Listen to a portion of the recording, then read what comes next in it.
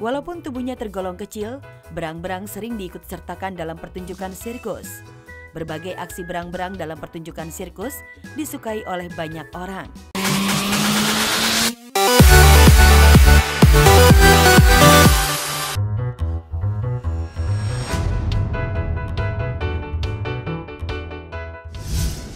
Dia nggak kecekek kan emang si Arifan? Enggak, enggak, enggak, enggak, enggak, enggak. Tangannya dipegangin, tangannya dipegangin. Pegang- Mulutnya kali, pegang- tangannya Pegang dipegang. tangannya. Pegang Eh, pegang. tangannya. Nah, Mulutnya. tuh, tuh. Ayo pernah gini. mau digigit. Gini nih, gini gini. Eh, salah. Bukan saya.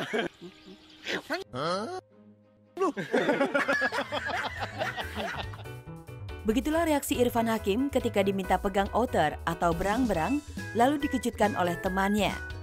Walaupun pernah memegang berang-berang, namun Irfan tetap hati-hati berinteraksi dengan hewan mungil dan menggemaskan itu.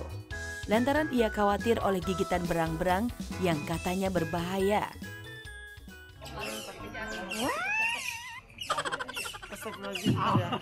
Guys, gue coba ya, coba.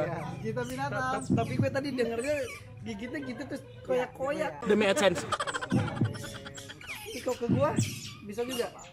Dia ngigit kan, bisa kan? Dia bisa banget. Awal-awal eh, si Benji di sini tuh gue sampai berdarah. Digigit. Sekarang nggak sama sekali sih. Sama orang lain tapi tetap bisa lah dia mah. Enggak juga. Ini dia jantan sama betina? orang. Ini jantan. Oh iya, kalau otter itu kalau nggak salah ya, yang betina itu lebih galak daripada yang jantan kalau nggak salah. Dan per- perebutan kekuasaannya itu dari betinanya. Walaupun tubuhnya tergolong kecil, berang-berang sering diikut sertakan dalam pertunjukan sirkus. Berbagai aksi berang-berang dalam pertunjukan sirkus disukai oleh banyak orang. Naik podium dan mohon Anda untuk tepuk tangan dulu hadirin. Sip.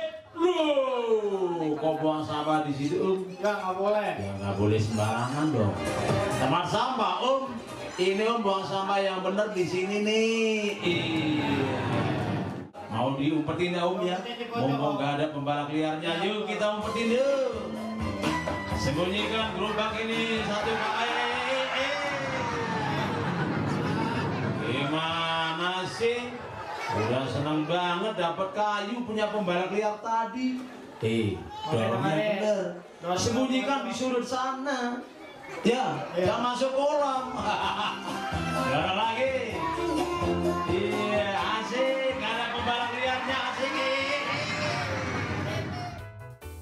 Mengetahui pandainya berang-berang dalam pertunjukan sirkus, tetap saja Irfan Hakim tidak mau memeliharanya di rumah. Bukan karena berang-berang galak dan suka menggigit, tapi ada alasan lain yang membuat Irfan tidak ingin di rumahnya ada berang-berang. Iya karena tiga Boros, karena bau, boros berisik. bau berisik. Kalau ini tuh terkenalnya itu. Salah satu yang membuat gue nggak pelihara otter adalah karena baunya. Kalau berisik sih kalau gue kalau berisik tuh kalau suara alam kayak gini-gini tuh buat gue bukan berisik enak gitu Enak sama. Kalau boros ya eh, insya Allah ada rezekinya lah ya. Tapi Iya, baunya itu gue mah gak tahu tapi ini nggak bau. Nggak bau. Emang nggak bau. Jadi mungkin dari makanan ngaruh ya. Enggak biasanya bau tetap bau kok. Tetap. Tapi kalau coba yang Oh iya, ikan. biasanya Ikan, lele, Betul. lele. Itu yang katanya Uma bau nggak? Ya seperti yang cium aja. Ini bau nggak?